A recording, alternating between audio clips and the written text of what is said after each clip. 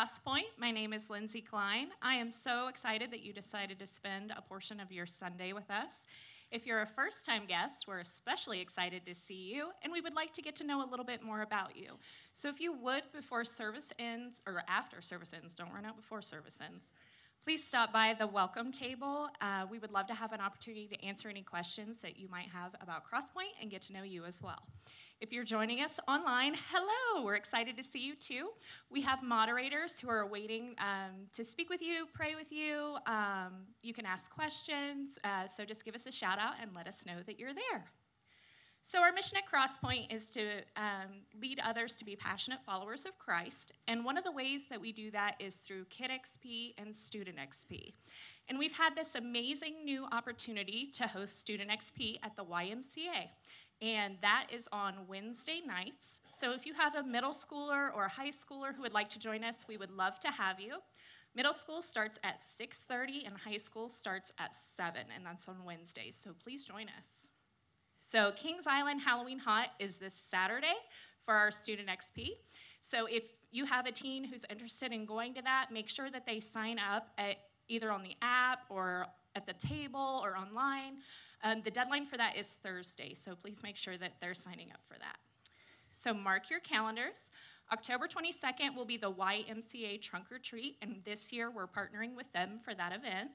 And we really, really need people to participate. So if you would like to bring your vehicle, decorate your vehicle, hand out can- candy for the little ones, we would love that opportunity to um, just have some fun with the youth in our community. So if you're interested in doing that, you can sign up at the welcome table as well. If you're not able to join, because we understand it's on a Tuesday, they also need s'mores supplies. So if you're interested in picking up some marshmallows, graham crackers, Hershey bars for me or for the event, make sure you sign up at the welcome table for that as well. So this uh, today we're continuing the series Out of the Boat. Tammy Conrad will be bringing the message today on discerning God's call. And we're continuing to fill the um, boat out in our lobby. I don't know if you've seen it, but it's practically overflowing now. And that's a good problem to have. And we have two more weeks to fill that boat. So if you would, please make sure next Sunday or anytime you want to stop by and bring in those blessing box donations, we would love to have those for our community. So if you wouldn't mind now, if you would stand up and greet somebody around you, and please continue to stand as we worship.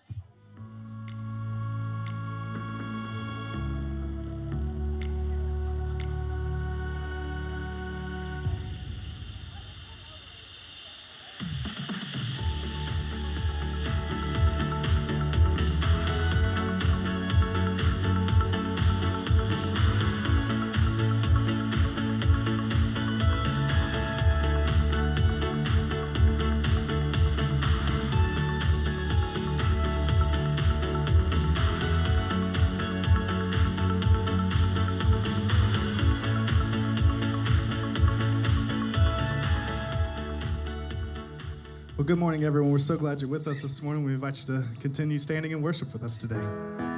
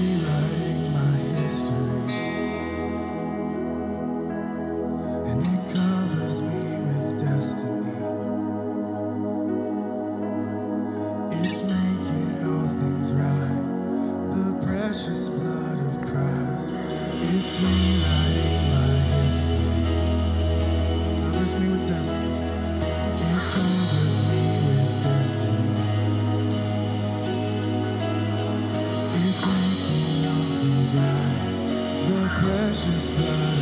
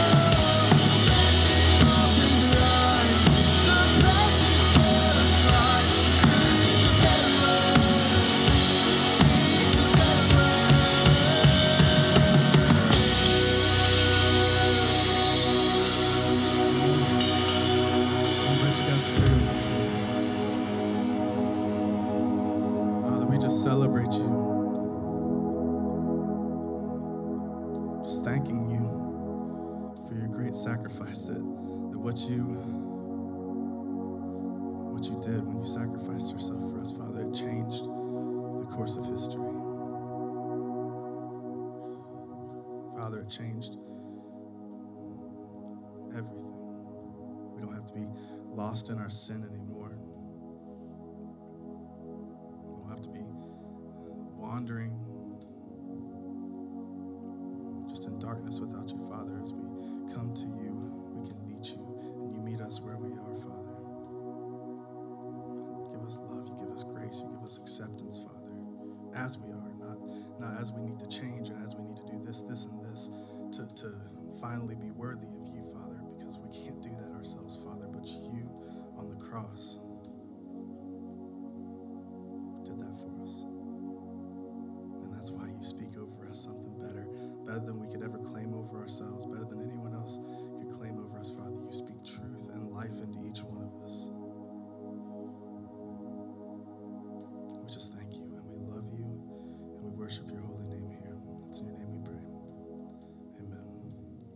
invite you guys to be seated.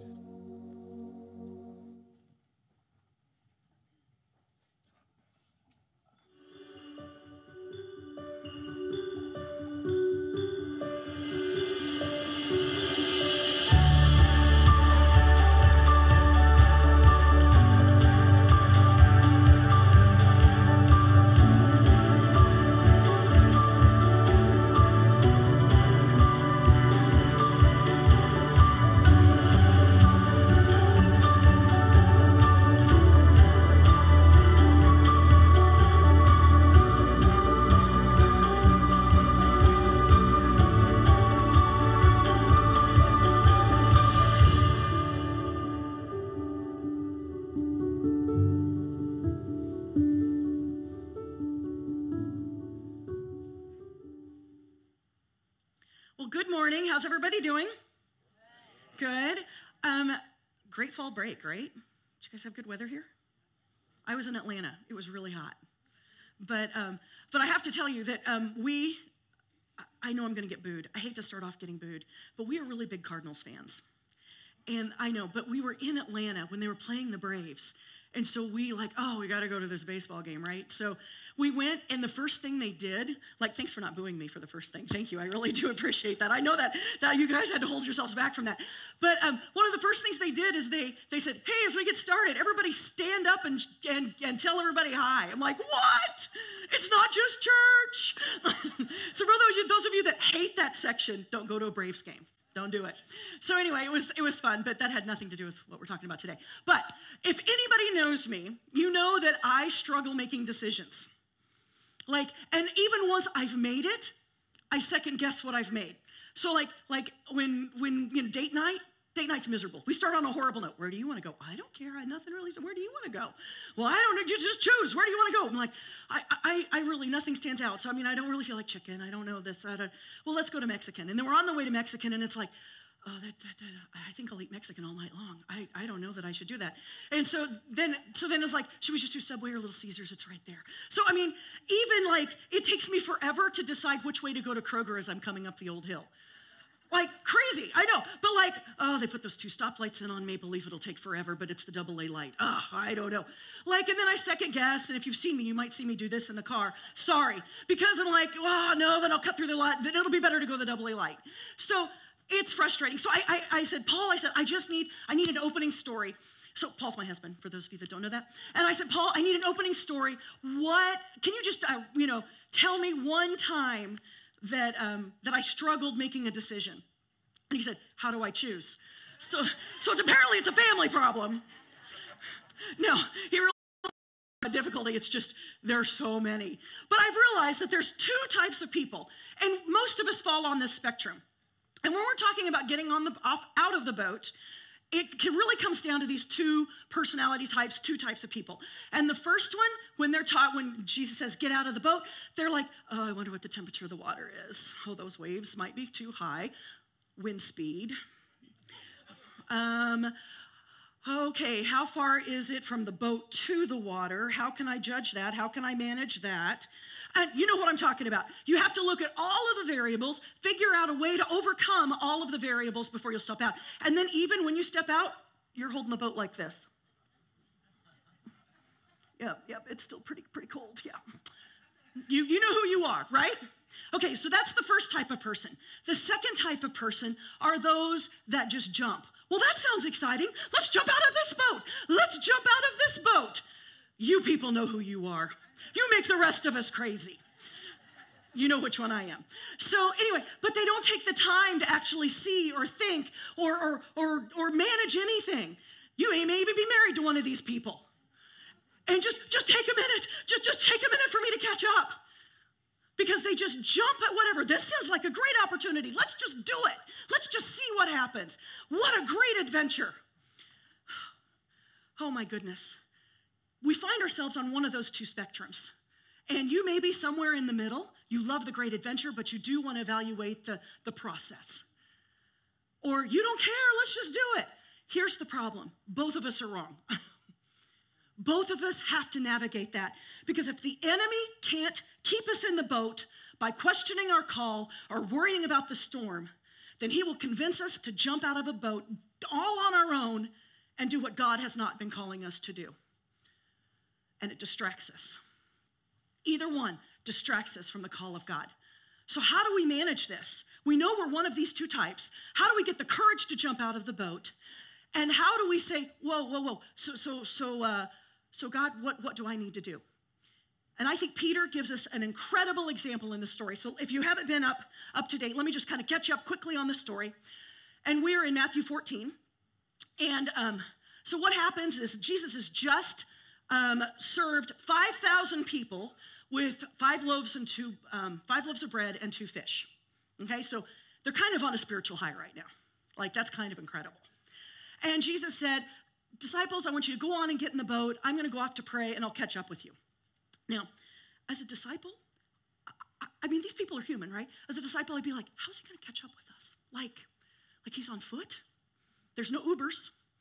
Like, I, I, I we're going to go meet you on the other side. I, we, like, didn't that even enter their mind? Like, sure, you'll catch up with us you know, whatever. So anyway, they did it. They got on. About in the middle of the night, a storm came up, a lot of wind, and it was pushing the boat back. So they had to work really hard just to keep the ground that they were on. And it says that Jesus came to them in the fourth watch of the night. And so it's, it's getting pretty late in the night, early morning. They've been fighting these waves for a while. They're tired, and um, there's a lot going on. And Jesus appears. Now, if you're Jesus, you're walking on the water. I'm pretty sure this isn't how they thought he would meet up with them. Like, right? They, well, you know that because they were like, oh, it's a ghost. You know, I, I don't, I mean, they were tired. Let's just give them that, okay? So, anyway, so Jesus comes up and uh, he's, don't you think he's going, now, now which one? Which one do you think is gonna, like, see me first, respond to me? Like, um, what's, what's gonna, how's this gonna play out? He's like, I mean, it could be John. John could recognize me. I mean, we're really tight, right? I mean, John and me, like this. I said, I'm pretty sure it's not going to be Thomas. Good night. That man questions everything I do and say, right?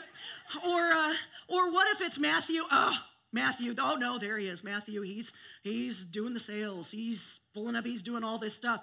I think Matthew might be a little OCD, but I guess it makes sense with it being a tax collector and all. And now, so, oh, there's Peter. There's Peter. Yep, Peter sees me. Hey, hey, Peter. Yeah. And he said Peter recognizes him. And I just I just have to think because Peter's that type two person. You're like, let's jump out of the boat. I mean, we see it. He thinks, he speaks before he thinks, he does before he thinks, and, and he just is kind of a mess. I think we're just all glad he didn't do one of those whole Forrest Gump jumps out of the boat, you know? But he didn't. Peter did something different. So here I am. I'm in Matthew 14, and I'm starting with verse 27. And it says this But Jesus immediately said to them, Take courage, it is I, don't be afraid. So he acknowledges who he is here. And Peter replied, Lord, if it's you, tell me to come to you on the water. Lord, if it's you. For once in Peter's life, he didn't just act, he said, Lord, if it's you, tell me to come out on the water. Come, he said. I love that. Now, here are a couple of things that I want to I want to bring to mind about Peter. First of all, Peter recognized Jesus. he wasn't so consumed by the storm, so consumed by the work, so consumed by the chaos that he wasn't able to see Jesus. He was able to look beyond the storm to where Jesus was calling. I think that's huge. What storm are we in? Are you in? Can you see Jesus? I know he's there. What storm is distracting you so much? Because Peter seems to be the only one that responds to Jesus. The other 11 are just sitting dealing with the storm. And Peter said, This storm isn't, isn't going to be more than I know who you are, Jesus. And so that, that's incredible. So that's the first thing, is that Peter was able to see and recognize Jesus in the storm. Peter also recognized Jesus' voice. He said, God, Lord, is that you? Because he knew Jesus' voice. He'd put the time in. He'd walked with him, he'd talked with him. He knew they were friends. Jesus knew him, he knew Jesus, and so he was able to recognize his voice. I think that's huge. Some people say that, that Peter threw out a test. Well, Jesus, if it's you, then call me out on the water. You know, kind of like, Lord, if you get me through this day, you know, I'll, uh, I'll pray with you tonight, or, you know, whatever. The deal you make, the test that you throw out. Well, Lord, if this is you, then it will rain today. Ta-da! Um, but we throw out those tests, but that's not what it was. Peter's heart wasn't there. Peter's like, Lord, it's you. Because if you're out on that water, if that's where our next ministry is, if that's the next thing we need to be doing, count me in. I'm in. I don't care about the risk. I don't care about what temperature the water is, because I'm going to be above it. I know that you can do anything and everything that you're calling me to do. So, Lord, is it you? Lord, is it you? And Peter and Jesus said, Yes. Yes, Peter, it's me. Come. Because Peter took that time to figure it out. Is this what you're calling me to do? To walk on this water with you. Then Peter got down out of the boat, verse 29. Then Peter got down out of the boat, walked on the water, and came toward Jesus. Can you imagine that? That's, that's incredible to me. Now, later in Peter's life, he figured some more things out because I mean they went through the whole resurrection and the, and the Holy Spirit and, and all of this empowered Peter to do missionary work. And he was an incredible voice of God throughout the New Testament in, in Acts. And, and he's writing his book here in First Peter. And Peter's figured some things out. And here's what he says How do we determine what God's call is then? Right? Like this is this is Peter's question. It's, it's all of our question. Like, so it's it's easy to know that when Jesus is right there, come. Come. Yeah, it's me, come. But how do we figure that out? How do we discern what the voice of God is and what the voice of God is telling us to do? And so that's why Peter tried to make it clear. And here we are in First Peter, and I am going to start in verse 25, but then we're going to kind of jump back up. But in verse 25, he said this this is what makes the difference people this this is the discernment that we need to have he says this all people are like grass and all their glory is like the flowers of the field the grass withers and the flowers fall but the word of the Lord endures forever. So here's what we need to know what we do, what we try to do, it withers like the grass in the field. So that the, the things that we strive for, the, the decisions that we make, they wither and die. But the word of the Lord endures forever. Whatever God is calling me to do is going to last for eternity. So that's why I need to know the difference. Because what I do, I want it to matter. I want what I do, what God calls me to do, to matter for eternity. Because it's easy to do what I want to do. It is. But what I want to do is to follow God so it lasts for eternity. So, how do we do this? Peter tells us in verse 22, and he gives us step by step instructions. And he said in 22, Now that you have purified yourselves, I'll read the whole verse and then we'll go back and take it apart. Now that you have purified yourselves by obeying the truth, so that you have sincere love for each other. Love one another deeply from the heart. So these are the guidelines that, that, um, that God has set down. Peter is documenting that for us. And he says this purify yourselves So that's the first guideline. I have to purify myself. Now, um, purity. Let's just have a little talk on that. And some of you may be saying now, now, Tammy, I know we're talking about getting out of the boat, but that ship has sailed.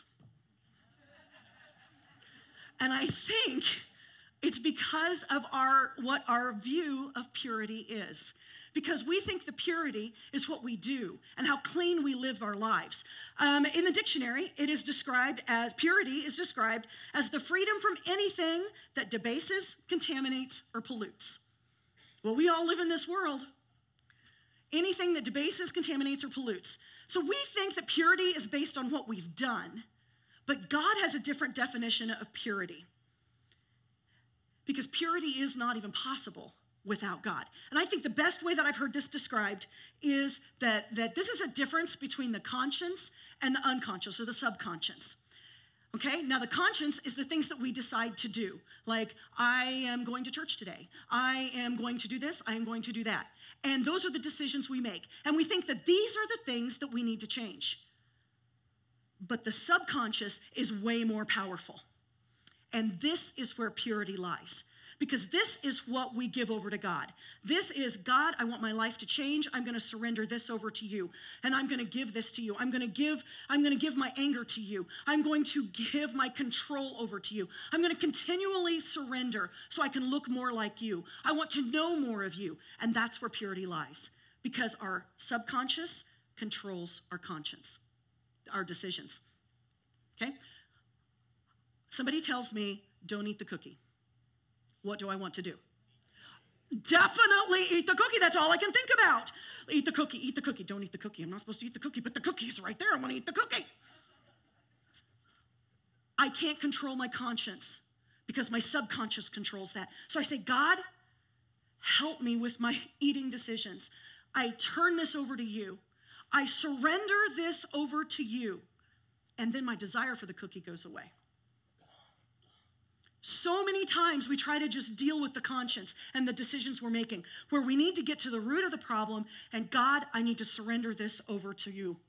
I need to surrender this part of my life over to you. So, purity is really a constant surrender over to God. It's an inner openness to allow God to reach all parts of us and to cleanse us of the contamination and the pollution of our hearts, because then our decisions will look different. Our thoughts are going to look different. Everything's going to look different, and it's going to be more rested in God.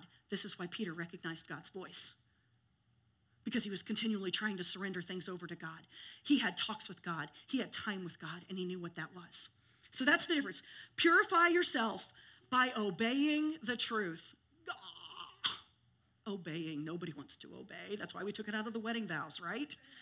Love, honor, and oh, heck no. I mean, seriously, nobody wants to obey. We want to do what we want to do. We want our will. We, we feel like we know ourselves better and we want to control what that decision is that's being made. And God says, obey the truth. Obey the truth. We can only do that by purifying ourselves because then we know the truth. Right? So here's the truth you never have to ask, here's an example. You never have to ask God, do I need to jump out of the boat to forgive? Because it's a command. right? It's a known will of it's a known will of God. He always wants you to do that. God will never say, his answer is always going to be yes. He is never going to say, well, you know, I guess you can stay in that boat of bitterness for a little while because you're right, they don't deserve that forgiveness at all. God's never going to say that. He commands us to forgive others. So it goes back to the purifying. Lord, give me the strength. I surrender this over to you. Give me the strength to forgive. And what my emotions don't follow, let the blood of Jesus cover. It's a known law of God. So I need to obey it. And when I begin to obey and I begin to, to purify my life and surrender things over to God, and when I begin to obey His truth, something really incredible happens. Because the one who obeys God's instructions for today will develop a keen awareness of His direction for tomorrow. Peter had probably been living his life in a sense of knowing who God was, of obeying his commands. He's still impulsive, he's still going to be doing that but he purified his heart with God. And he said, Lord, I plan on obeying your truths. And he was able to discern the voice of God. So, a couple of questions. when you're looking for the voice of discernment, does what I'm being called to do fit within the guidelines of who God is? Does what God calling me to do lead me into more purity of heart, mind, and action? Does what God is calling me to do lead me into more purity of heart, mind, and action? And then the verse goes on. And it says this so that you have sincere love for one another. Now, I love that so that is so important. Can we have sincere love for one another without the first part? It doesn't seem possible because we have to have purify ourselves by obeying purify ourselves obeying the truth so that when god has purified us so cleanly we think like him we love like him because we've done that we have sincere love for each other because that that is what the discerning mark is if god is calling you to do something it's because he has love for others and you Love one another deeply from the heart. He says it three different times. Have sincere love for each other. Love one another deeply from the heart. This is important to him. This is really important to him. And it's so easy. Like, just love one another. How hard is that to live out sometimes? Because it's an unselfish love. And we, we were created to protect ourselves. We were created to do things that pleased us. That's how we were created. So we are fighting against our very nature. So, because of that, we have to come and purify ourselves before God. We have to obey His truths, and He will teach us to love one another in the way that He can love. It also helps check our motivation. Um, here's, here's an example. There was a CEO, he was a Christian CEO, and he was asked to be the president of a prestigious college and it was a Christian university, prestigious Christian university, and he was asked to be the president of that. And he's like, "Well, of course. I mean, I does this does what this do? Following the laws of God? Yes, it does. Does it purify me in heart, mind, and action? Well, yes, it does. Does it does it give me an opportunity to love others? Yes, it does. But here's where he had to check himself: Is that my motivation? Am I taking this position because of my love for others? And once he started praying about it, he realized that the reason he wanted the position was from the prestige of the position because people would where his name would be. I mean, this is this is common. This is something we all have to fight. And he said, and because of that, I had to turn that job down. He said, it would have provided me those three things. However, my motivation needs to be that it puts me in a position to love others better and more.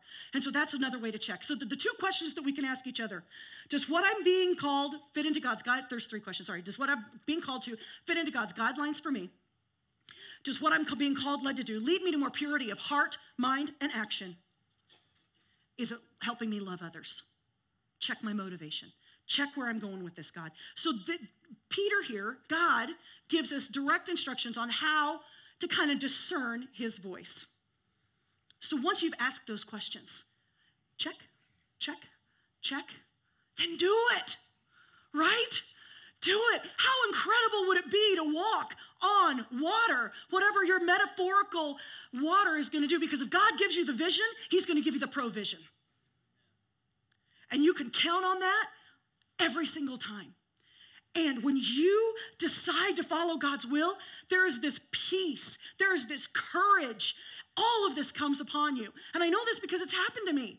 God took this non decision maker into somebody that was willing to follow his will no matter what it would take. Am I, oh, I'm not perfect at all. I mess it up and I, I fold back and I'm like, oh, really, really, God, I, I think that the weather's not right for that today. But just do it. But here, do not mistake peace for easy, because that's really easy to do. And so one of my kids was going through, they were really struggling with the call God had on their lives. And they said, Mom, Mom, if, if God called me to do this, He wouldn't have made it so hard. And, and, in my, and in my best loving mom voice, I looked at her and I said, What Bible are you reading? Like, seriously, God called people throughout all of Scripture to do really hard, difficult things. Noah, I want you to build a boat in the desert. No, nobody's ever seen rain, but just go ahead and do it. Talk about the ridicule. Talk about a man with no friends now. Or Moses, I want you to go. I know it's your homeland. I know you know all these people, but I want you to go and I want you to just go shift their whole economic dynamics. Tell them you're going to take all the slaves, everything that they depend on. You're just going to hightail it out of there. I'll be with you.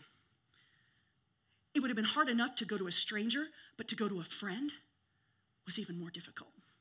Esther, I want you to go to the king. And I know, I know that when you request a, a, an audience with the king, you very likely will be killed. But, but I want you to go to request an audience with the king because you're going to save your people. Jesus, I want you to be ridiculed. I want you to be spat on. I want all of your friends to desert you. And I want you to die for everyone. A death that you don't deserve. What God calls us to is hard. But I have to tell you, He gives you the power and the strength and the courage and the patience to do everything because you will be walking a miracle. And it is powerful. It is powerful to be walking that miracle. And it's something that we are all called to do. Absolutely every one of us is called. Ephesians 2:10 says this, "You were created a masterpiece, God's workmanship, to do all that he all the good that he has desired to do way before." Here, I'll read it. That's kind of my interpretation. So, um, Ephesians 2:10. Hmm, it's not here. You're going to have to go with my interpretation. Sorry about that. Oh, there it is. We are God's masterpiece, created by his workmanship to do good things, which he prepared in advance for us to do. Because here's the other thing He's going to work within our gifts. He's going to work within the way that he created us. He is going to work with our talents, with our passions. He is going to work alongside of that. Now, you will never, ever see me to be on the financial team. And those are the people that know me. Like my husband is dying back there. I do not have a concept of good money use at all. I just don't spend it or I spend it. Those, that's how I do it. Nothing in between. And so you don't want me there. God will never call me to that. If, if God said, wake, if I wake up someday and I'd be like, God says, hey, I want you to be on the financial team. I'm like, bah! Who are you trying to torment today? It's not going to happen. God is going to work within my talents, with my gifts, with my abilities. And He created for purpose. We have been created on purpose for a purpose. We have been created on purpose for a purpose, and it's to follow the will of God. When we don't jump out of the boat of what that purpose is, we are always going to feel this discontent. Sometimes we choose to do the easier thing, and we'll feel it. I call it a holy discontent because there's this gap between my comfort level and where I think I want to be and where God is calling me to be. And in that gap, you are going to feel disconnected. You are going to feel discontented. And the minute you jump, you're going to feel purpose and joy and peace. So, yeah, yeah, sometimes it's hard. But you, when you align your will to God's will, it makes all the difference in how you live your life. When, when we go on to verse 23 here, he says, For you have been born again, not of perishable seed, but of imperishable, through the living and enduring word of God. When we turn our lives and our wills over to God, we live for the eternal. We quit living for the things that we see and feel and, and experience right now. And we follow the will of God. And what we see and experience and do and live like grows in living color. Um, 20 years ago, I can't believe it's been 20 years, we lived in St. Louis. We loved it, loved it. Um, it was amazing.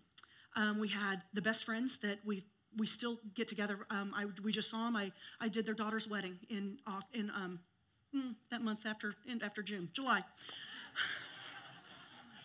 Um, anyway, so we went and I did that. And so we are still so, so close to them. And, and we were like family there. I was close to my family. My mom and dad could come over for birthday parties and go home the same day. It was amazing. And then my husband starts feeling this holy discontent. And I'm going, I don't want holy discontent. I don't want it. I don't feel it yet. And then I started, God starting to move. And my husband was so unhappy I said, I said, Paul, I said, here's, here's the thing. This is what we have to do. And this is God. I am not this smart. Okay, so me just clear the air. I, I am not smart at all, but sometimes I try to follow the will of God. And and he's I said, listen, we're gonna have to make a decision here. We're either gonna decide to be happy in the situation that we're in, or we're gonna pray to God and see if He's asking us to move. And it was like a big weight had come off of him because we were so happy there. But he was so unhappy because what, uh, what looked like was happy, there was a discontent within his soul that we were not doing what we were supposed to do. Because, see, when he finished residency, we liked St. Louis so much, we just decided to stay there. We didn't consult God because we liked it. We, we thought it was great, and so we decided we should stay there. And we were there for three years, seven total, but three years struggling with what the will of God was. And so, I mean, it's a long, drawn out story. I'm not going to go all there. We decided that um, he came home and he said, Hey, there's an opportunity in Kentucky. I said, That wasn't on the list. Sorry. And, and I, I don't mean, I, I love living here. Okay, so, so start here. Okay, I love everything about being here. But 20 years ago, I have to tell you, the news does not place Kentuckians in a good light. It does not. And so I'm like, why? I don't think that this is a thing. And Paul's like, it, it, I think it's a good opportunity. I think we need to check it out. I'm feeling this. And I'm like, all right, we're going to go. And the minute we came here, we knew.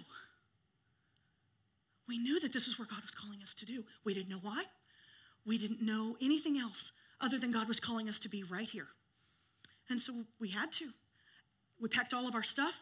It was not easy. That's another story for another message. And um, I, my pastor there told me, he said, I want you to write down all of the things that God is calling you. Because when you question it, I want you to come back here and know the truth of what God has called you to do. Isn't that brilliant? When my feelings waver, come back to the truth. And so I cried, literally, it's seven hours. I cried all the way here. Not because I didn't want to come, but just because I was grieving the process. And uh, we get here, and, and God, has, God has just been amazing. And then when we started CrossPoint, I would have never been able to be a part of that. And it was hard. I think we put in 15 hour days on Sundays, and I loved every minute of it. I mean, people would work full time all throughout the week, and then we'd put in 15 hour days because we believed so much that people needed to know the love of God. People that weren't already coming to church needed to know the love of God. And, and Augusta, I just speak to you for just a minute because what you are doing is amazing. You have, yes. You have given up comfort and you have started something new because you believe so much in your community. And you have jumped out of the boat to do whatever God wants to do there. But here's the thing once you jump out of the boat, there's other boats. What is God calling you to do? Augusta, what is God calling you to do now? Maysville, what is God calling you to do now? Because it doesn't end, because the eternal kingdom, people coming to the eternal kingdom, is too important. So when you're trying to discern the will of God, knowing that the will of God is going to take you from the temporary to the eternal, it's what we've been created to do, to be His workmanship. We have been created for a purpose, with a purpose. What is it that God is calling you to do? Is it to stay in a marriage? Is it to leave a relationship? Start a ministry? Get to know your neighbor? Show someone the love of God? Show someone the gospel of Christ and lead them to a relationship with Christ? Start a Bible study. Start a Bible study with unbelievers. Only you know what it is. But don't just jump out of the boat because you think it looks good. Lord, is this going to show purity of love, heart, action? Is this going to show your love to others? Is that where my motivation is? And if it's not, then help me surrender more of myself to you so that everything that I do shows your love. Because I want to stay within the will of God. Don't let me jump where you're not calling me, and don't let me hang back because I'm scared of what will happen. I got to hear a, um, a live interview with uh, Dr. Charles Stanley. And some of you may not know him, but he's probably one of the, the best preachers of our, besides Chad, of course, you know, one of our best preachers of, of today. And he's 80 some and still preaching every Sunday, 50 years. He's, he's celebrating 50 years today, actually, in his church. Um, but here's what he said. They said, What do you attribute your success, success to? Ever, you know, what, what do you attribute to? He said, Here it is obey God and leave all the consequences to Him. Obey God, leave all the consequences to Him. I bet he said it 15 times. We started to laugh. But that's how he lived. I purify myself so I know what God is calling me to do, and I obey God. And then it doesn't matter what happens. I've obeyed God. There's no failure, there's no success. There's just living what God is calling you to live. Isn't that freeing? I love that. Obey God, leave the consequences to Him. Because how incredible is it going to be to walk on that water? Right? And we'll never do it if we stay in the boat or if we jump out a boat that we weren't called to jump out of. So, what's your story? Where does it go from here? How do you feel God is calling you out of the boat? Have you asked the questions? Does it lead me closer to Christ? Does it purify my heart? Am I obeying Him? Am I learning to love others through this? Lord, is it you? And then pray to be able to give what God is calling you to give. I'm going to give you just a few minutes right now, and I want before I pray for you, I know I just want you to, to spend time, just a couple of minutes with God. Just say, God, what's my boat? Where have I been clinging to the side? Where have I just jumped, hoping that you'd catch up with me? Lord, let me jump the direction that you are and help me to discern what direction that is. I want you to take just a couple of minutes and, and just pray to God about what your boat is.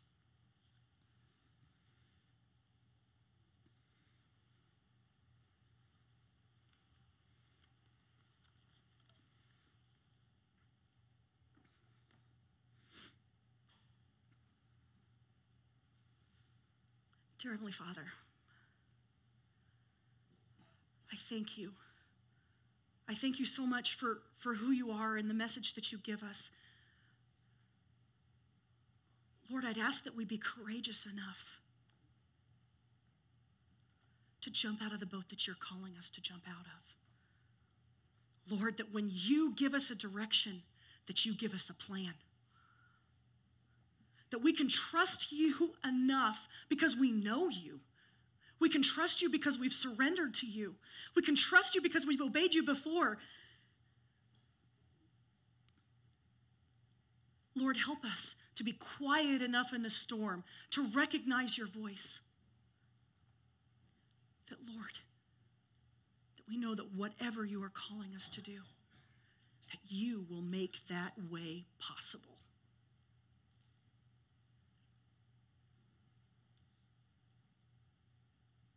Lord, I thank you. I ask all these things in your name. Amen. We invite you guys to stand and worship with us.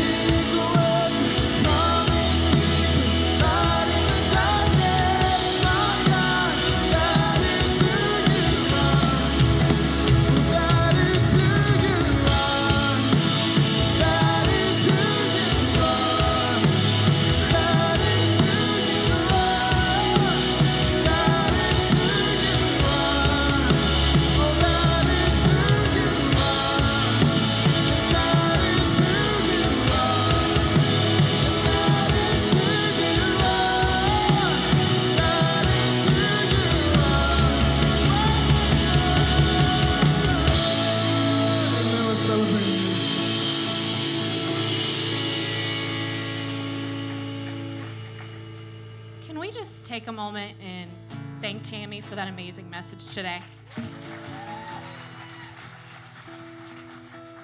She just, it, always feels like she's talking directly to me.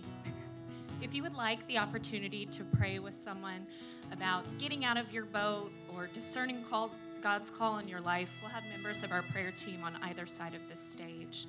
Please come back and join us next week. Chad will be back and we will continue our series Out of the Boat. Have a great week. Amen.